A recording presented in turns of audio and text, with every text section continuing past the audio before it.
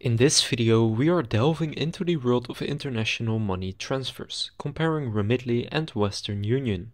We'll be analyzing fees, exchange rates, reliability, speed, payment options, user reviews, ease of use, and additional features. So stick around as we break down which brand might be the right fit for you.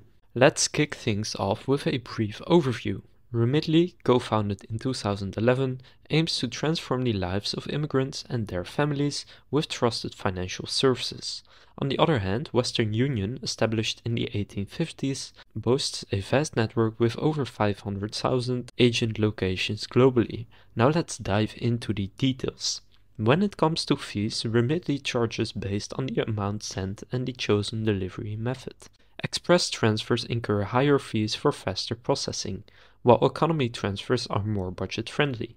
Comparatively, Western Union's fees vary based on the country, transfer size, payout method and delivery speed.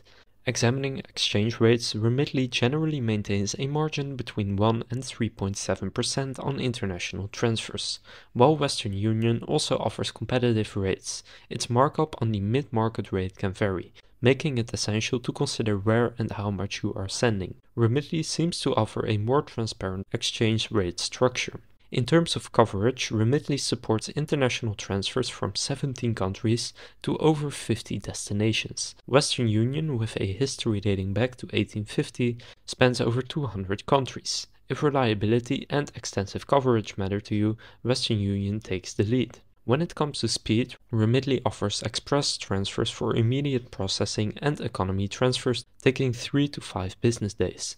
Western Union's transfer times range from 1 to 7 working days, depending on factors like payment method and destination. Remitly may have a slight advantage in terms of quicker transfers. Analyzing payment options, Remitly shines with a variety including credit and debit cards, bank accounts and specific options for different countries. Western Union, while reliable, has fewer payment options.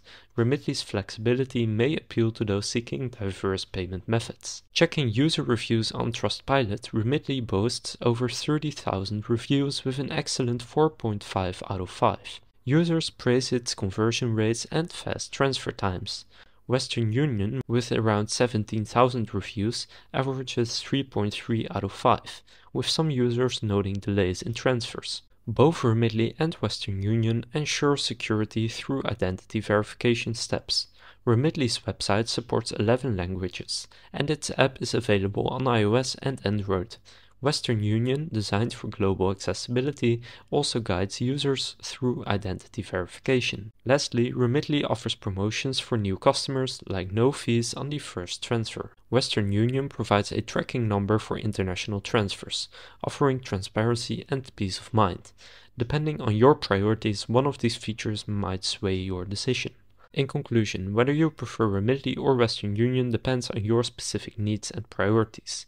Remitly excels in exchange rates, user satisfaction, and diverse payment methods. Western Union, with its extensive history and global presence, may appeal to those valuing reliability and widespread accessibility. So that concludes my comparison of Western Union versus Remitly. If this video was helpful, please consider leaving a like and subscribing to my channel.